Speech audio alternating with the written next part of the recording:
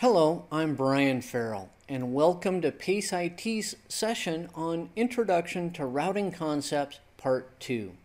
Today I'm going to be talking about routing metrics, routing aggregation, and then I'm going to conclude with a brief discussion on high availability. We have a fair amount of ground to cover, not a whole lot of time, so let's go ahead and begin this session. Of course, I'm going to begin by talking about routing metrics it is quite common for there to be more than one route available to a remote network. Routing protocols use metrics to determine which route is the best route to reach those remote networks. Each routing protocol will use its own set of metrics in determining which routes to which networks are placed in its routing table.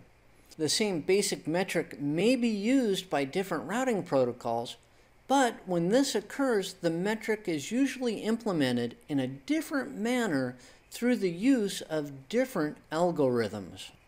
The first metric that we're going to discuss is the hop count.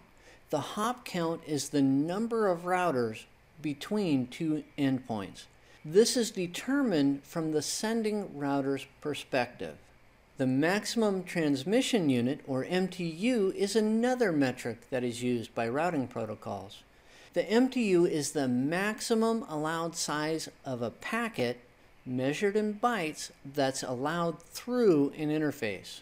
The standard MTU for Ethernet is 1500 bytes.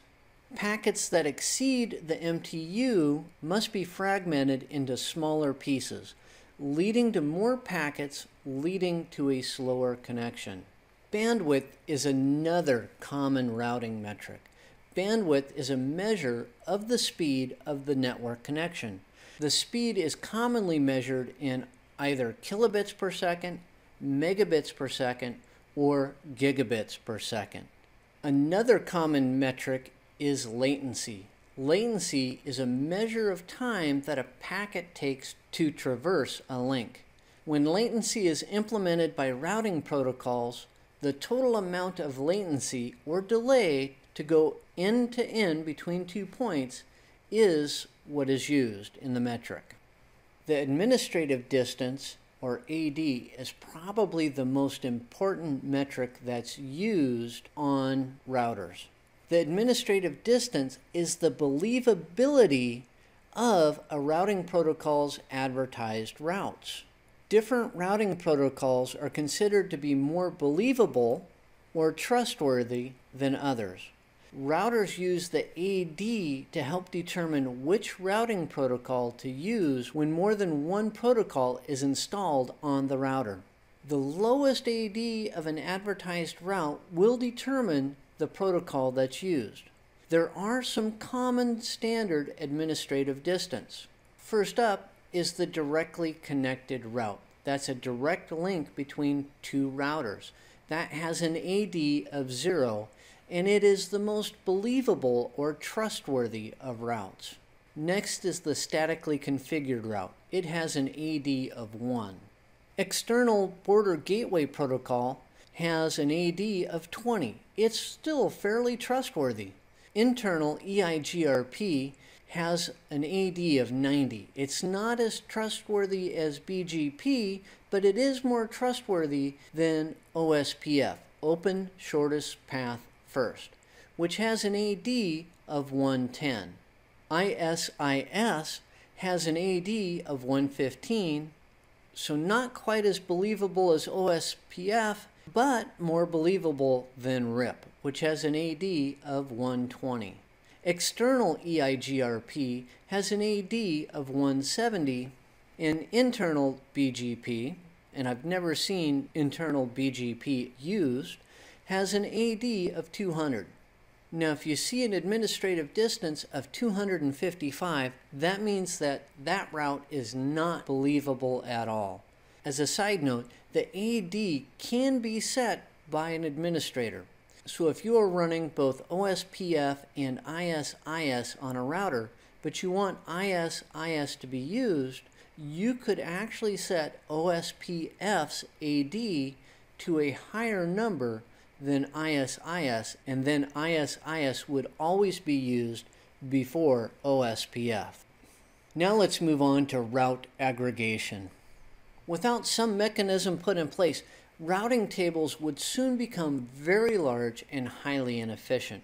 Through careful planning, network administrators use a process called route aggregation to condense the size of routing tables. They do so through the use of classless interdomain routing, CIDR, to summarize routes to different networks. Route aggregation is common in networking. Let's take a look at an example of route aggregation. Suppose we have a router that has the following networks on its serial 0 slash 1 interface. It has 10.1.1.0 slash 24 known on that interface, 10.1.17.0 slash 24, 10.1.32.0 slash 24, and 10.1.128 0 slash 24. All of those networks are known to that interface, that S slash 0 slash 1 interface. These routes are what are known as contiguous routes. They're all in a line. They can be summarized or aggregated by a common CIDR entry in the routing table. They could all be summarized by the following entry 10.1.0.0 slash 16. Now there is a warning about route aggregation. Route aggregation takes careful planning during the network design phase. That above example would not work if the serial interface 1 slash 1 on that same router was connected to network 10.1.2.0 slash 24 because that new network makes those networks on, on the 0 slash 1 interface non-contiguous networks. All the known networks are no longer all in a row. This leads to the fact that the routes could no longer be aggregated or summarized. Let's conclude with a discussion on high availability. Part of a network administrator's job is to ensure that networks remain up and active for the maximum amount of time.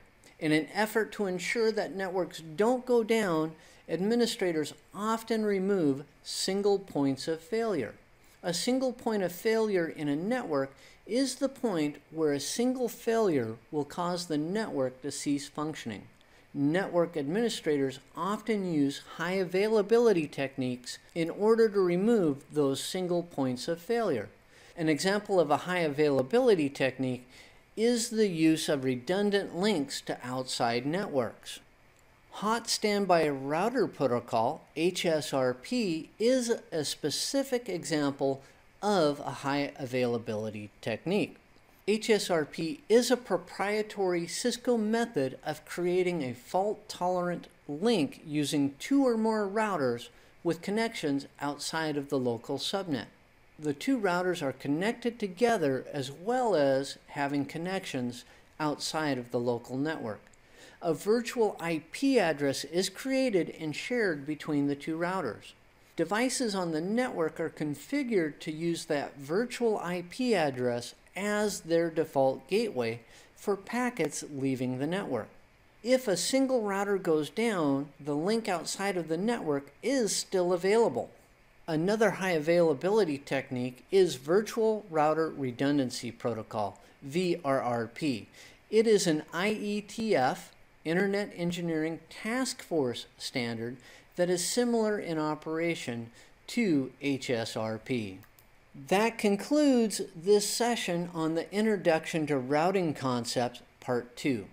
I discussed some routing metrics, then I moved on to route aggregation, and I concluded with a brief discussion on high availability. On behalf of PACE IT, thank you for watching this session, and I look forward to doing some more.